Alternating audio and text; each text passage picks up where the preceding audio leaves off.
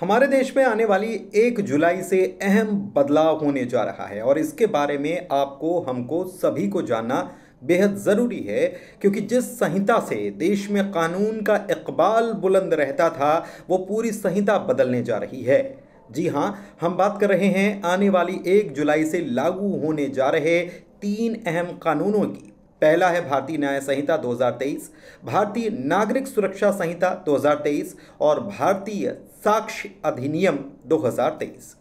दरअसल भारत में आईपीसी की जिस धारा को हम सुनते या देखते आ रहे थे वो समाप्त हो जाएगी अब पुलिस और न्यायपालिका भारतीय न्याय संहिता यानी कि बीएनएस के तहत ही काम करेगी बता दें कि 1 जुलाई 2024 से भारत में भारतीय दंड संहिता, यानी इंडियन पिनल कोड की जगह भारतीय न्याय संहिता ले लेगी और ये लागू हो जाएगी। इस कानून के लागू होने से पहले मध्य प्रदेश के मुख्यमंत्री डॉक्टर मोहन यादव का बयान सामने आया। उन्होंने कहा कि यह बहुत बड़ा मील का पत्थर साबित होगा। हम सालों से ये महसूस कर रहे हैं। उनका कहना है कि दंड संहिता का लोगो भी हमें डराता था। इतना ही नहीं, उन्होंने ये भी कहा कि आँख बंद करके कौन न्याय करता है? आँख बंद करना तो गुलामी का प्रतीक है। और वैसे भी भारत का इतिहास दंड का नहीं, बल्कि न्याय का प्रतीक है। मील का पत्थर साबित होगी। हम वर्षों से इस बात को महसूस करते थे कि हमारे यहाँ ये जो आईपीसी की धारा 1860 दंड, भारतीय दंड संहिता, जिसका लोगो ही हमको डराता था, आँखों पे पट्टी बांधी हुई, न्याय की देवता तराजू में अपना न्याय करे आँख पे पट्टी बाँध के कौन न्याय करा सकता है? हमारे यहाँ तो पंच परमेश्वर की पद्धति है आँख खोल करके पाँच जने गाँव के अंदर भी बैठ करके किसी के भी फैसले कर सकते हैं। तो ये न्याय की परंपरा विक्रमादित्य के काल से राम राज्य के काल से है तो ऐसे में पुनर्स्थापित किए माननीय मोदी जी की सरकार ने और हम उसको लागू कर रहे हैं हमें इस बात का गर्व और दंड संहिता मतलब जो सामने आए उसको केवल दंड देना इसलिए उनका उसमें निहितार्थ था कि वो दंड संहिता अर्थात हर व्यक्ति के लिए दंड की कल्पना करते हैं। हमारे यहाँ न्याय की परंपरा है। इसलिए न्याय से हमारा संबंध आता और विक्रमादित्य का न्याय, प्रेमचंद का पंच परमेश्वर वाली कहानी, ऐसे सब शुरू से हमारे यहाँ तो कई उदाहरण भरे पड़े हरिश्चंद्र का न्याय। वैसे आपको बता दें कि एक जुलाई से नए आपराधिक कानून लागू होने जा रहे हैं। एक जुलाई से भारत में भारतीय दंड संहिता की जगह, भारतीय न्याय संहिता लागू हो जाएगी। अब पुलिस और न्यायपालिका भारतीय न्यायिक संहिता यानी कि बीएनएस के तहत कार्रवाई करेगी। अब पहले की 511 धाराओं की जगह केवल तीन सौ अट्ठावन धाराएँ ही लागू होंगी। दरअसल आगामी एक जुलाई से लागू हो रहे तीन अहम कानून भारतीय न्याय संहिता 2023, भारतीय नागरिक सुरक्षा संहिता 2023 और भारतीय साक्ष्य अधिनियम 2023 लागू हो रहा है। भारतीय नागरिकों को सशक्त बनाने की दिशा में एक और बड़ा कदम है। इन तीनों कानूनों के तहत ज़ीरो एफआईआर, ऑनलाइन पुलिस शिकायत इलेक्ट्रॉनिक माध्यम से समन भेजना और घृणित अपराधों में क्राइम सीन की वीडियोग्राफी अनिवार्य हो जाएगी। आपको बता दें कि नए कानूनों में जाँच और न्यायिक प्रक्रिया में तकनीकी दखल बढ़ने से नेशनल क्राइम रिकॉर्ड ब्यूरो यानी कि एनसीआरबी को सभी राज्यों और केंद्र शासित प्रदेशों को तकनीकी सहायता देने की व्यवस्था की गई है।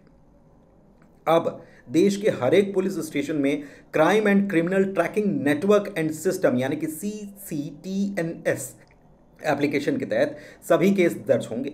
वैसे आपको ये भी बताएँ कि आईपीसी और नए कानून भारतीय न्याय संहिता 2023 की तुलना करें तो नए कानून में सरकार की ओर से 33 धाराओं में कारावास की सज़ा को बढ़ाया गया है। यानी कि जिन अपराधों में कारावास की सज़ा तीन साल हुआ करती थी, उसे बढ़ाकर पाँच साल तक कर दिया गया है। इसके अलावा नई संहिता के तहत क्या क्या प्रावधान हुए हैं? एक व्यक्ति सशरीर पुलिस स्टेशन में उपस्थित हुए बगैर भी इलेक्ट्रॉनिक माध्यम से घटना की रिपोर्ट कर सकता है।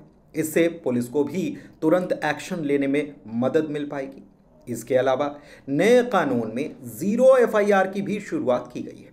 पीड़ित किसी भी थाना क्षेत्र में अपनी एफआईआर दर्ज करा सकता है। पीड़ित को एफआईआर की कॉपी भी निशुल्क सौंपने की व्यवस्था इसमें की गई है। इसके साथ ही, सशक्त जाँच के लिए गंभीर आपराधिक मामलों में सबूत जुटाने के लिए क्राइम सीन पर फॉरेंसिक विशेषज्ञों का जाना भी अनिवार्य होगा। सबूत इकट्ठा करने की प्रक्रिया की वीडियोग्राफी भी अनिवार्य रूप से कर दी गई है। ये व्यवस्था नए नियम में है। महिलाओं और बच्चों के खिलाफ जो अपराध होते हैं, ऐसे में जाँच एजेंसियों को दो महीने के अंदर अपनी जाँच पूरी करनी होगी। नब्बे दिनों के अंदर पीड़ितों को केस में प्रगति की नियमित अपडेट भी देनी होगी कि क्या चल रहा है। इसके अलावा अपराध के शिकार महिला और बच्चों को सभी अस्पतालों में फ़र्स्ट एड या इलाज की निशुल्क व्यवस्था मिलने की गारंटी होगी। चुनौती भरी परिस्थितियों में पीड़ित जल्द ठीक भी हो सकेंगे। गंभीर अपराध होने की परिस्थिति में। गवाहों की सुरक्षा और सहयोग के लिए सभी राज्य सरकारें विटनेस प्रोटेक्शन प्रोग्राम भी लागू करेंगी। दुष्कर्म पीड़िताओं को ऑडियो, वीडियो माध्यम से पुलिस के सामने बयान दर्ज करने की छूट भी मिल पाएगी। इसके अलावा नए कानून में मामूली अपराध के लिए दंड के स्वरूप सामुदायिक सेवा की विधा शुरू की गई है। समाज के लिए सकारात्मक योगदान देकर दोषी अपनी गलतियों को सुधारने का काम करेंगे। मसलन पेड़ लगाना और भी दूसरे काम। सुनवाई में देरी से बचने और न्याय की त्वरित बहाली के लिए कोई अदालत किसी मामले को ज़्यादा से ज़्यादा दो बार ही स्थगित कर सकेगी। सभी कानूनी कार्यवाही इलेक्ट्रॉनिक माध्यम से हो सकेगी, इसकी भी व्यवस्था है। इसके अलावा, पीड़ित महिला की अदालती सुनवाई महिला मजिस्ट्रेट ही करेंगी। नहीं तो संवेदनशील मामलों में किसी महिला की मौजूदगी में पुरुष मजिस्ट्रेट के सामने बयान दर्ज होगा, ये भी व्यवस्था की गई है। आपको बता दें कि भारतीय न्याय संहिता 2023 में तीन सौ अट्ठावन धाराएँ हैं, जबकि आईपीसी में 511 धाराएँ थी। इसी तरह सीआरपीसी की जगह लेने वाली भारतीय नागरिक सुरक्षा संहिता में पिछली चार सौ चौरासी की तुलना में 531 धाराएँ इंडियन एविडेंस एक्ट की जगह लेने वाले भारतीय साक्ष्य अधिनियम में 170 धाराएँ हैं, जो पहले इंडियन एविडेंस एक्ट में एक थी और ये ज़्यादा है। माना जा रहा है कि नए कानून लागू होने से तारीख पर तारीख की स्थिति में बदलाव आएगा और लोगों को समय पर न्याय मिल पाएगा। इसी तरह तिरासी ऐसी धाराएँ हैं, जिनमें जुर्माना राशि को बढ़ा दिया गया है। ऐसे ही तेईस धाराओं में कम से कम सजा को सुनिश्चित भी कर दिया गया है। नए कानून में विदेश में बैठकर किसी संगठन और व्यक्ति के द्वारा भारत में अपराध करने पर उसके खिलाफ नए कानून की धारा 48 के तहत उसी अपराध की सजा दी जाएगी जो उसने कराया है। इसी तरह कई बदलाव नए कानून में किए गए हैं।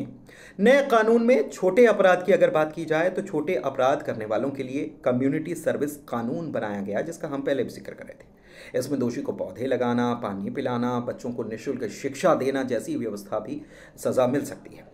यह उन अपराधों के लिए है जिसमें तीन महीने से कम की सजा का प्रावधान है और जुर्माने का प्रावधान है। नए कानून में भीड़ में किसी व्यक्ति की जान जाने पर धारा 103 दो के तहत फांसी की सजा का प्रावधान किया गया है। हिट एंड रन के मामले में भी अब 10 साल की सजा है।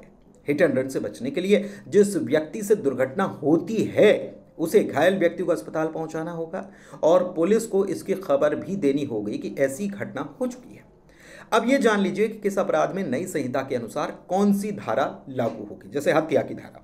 पहले 302 कहलाती थी, अब 103 कहलाई हत्या का प्रयास। 307 की जगह अब 109 के नाम से जाना जाएगा। गैर इरादतन हत्या 304 ए थी, अब इसकी जगह 106 हो जाएगी। दहेज हत्या के लिए 304 बी की जगह इसे 80 धारा के तहत माना जाएगा। डकैती तीन सौ पंचानवे की जगह तीन सौ दस तीन, लूट तीन सौ बयानवे की जगह तीन सौ नौ चार, दुष्कर्म तीन सौ छिहत्तर की जगह चौसठ और चोरी तीन सौ अस्सी की जगह तीन सौ पाँच धारा लागू